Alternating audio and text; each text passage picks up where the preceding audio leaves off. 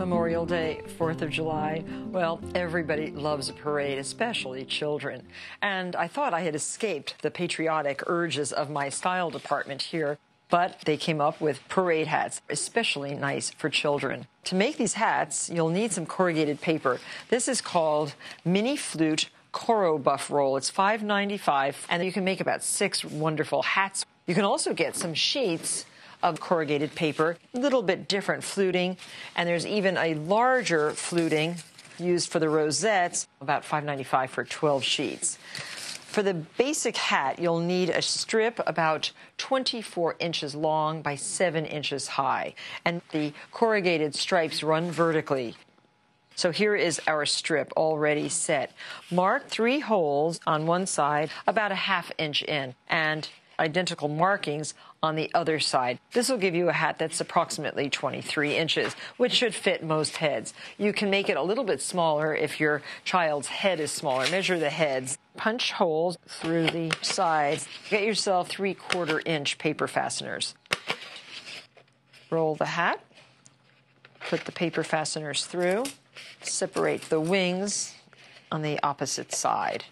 For the brim of the hat, we've made a template, and that template will be on the website. We had to figure it out, obviously. And this is the template for the rim. It's an eight inches from here to here and a nice arc made with a compass. And we're going to use our compass. This is set for an eight inch arc. Draw your arc.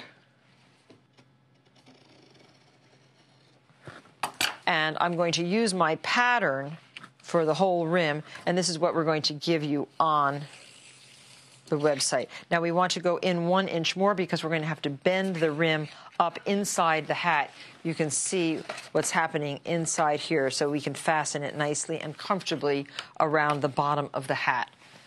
So adjust your compass to three inches and draw another semicircle cut this out using your paper scissors, of course.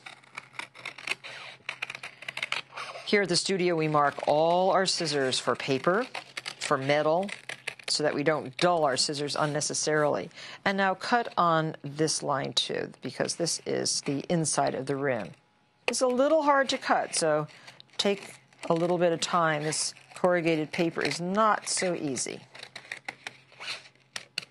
Now we're going to make sure that we have tabs, so cut into the second line like that and go all the way around.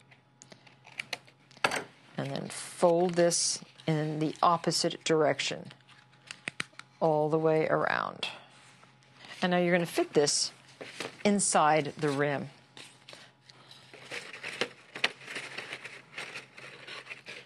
And now I'm going to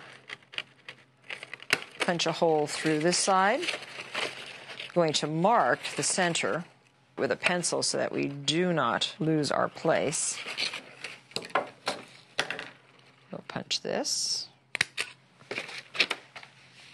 And do it about a half an inch up from the bottom of the hat. And I'm going to stick my paper fasteners in now.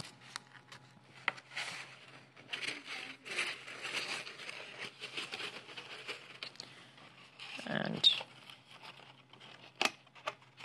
and now on the far side of your rim. Punch another hole. And put in your last fastener. Now the decorations can vary from stars and stripes and rosettes and bows. Here's your basic hat ready to put on someone's head. To make these wonderful rosettes a 10 inch by 2 inch piece of the wider corrugated paper. Just rip off the liner and form the rosette by spiraling this around.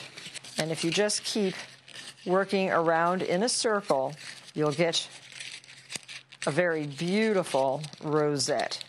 And you're going to have to tape this as you go, crinkling the center of the circle. But ultimately, it comes together, and you can tape the very end on the inside, of course.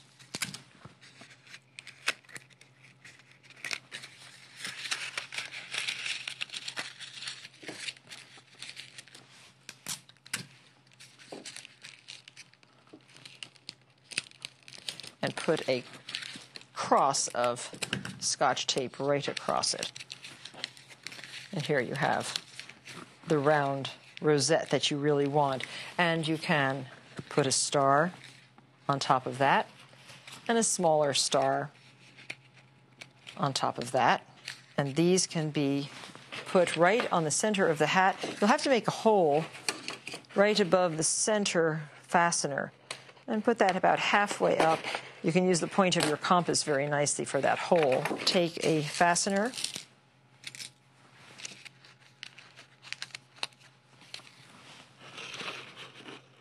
and just fasten your little star and rosette right there in the center of the hat.